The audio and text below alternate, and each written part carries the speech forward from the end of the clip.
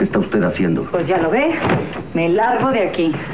A mí no me van a correr nunca más, porque acabamos a trompones.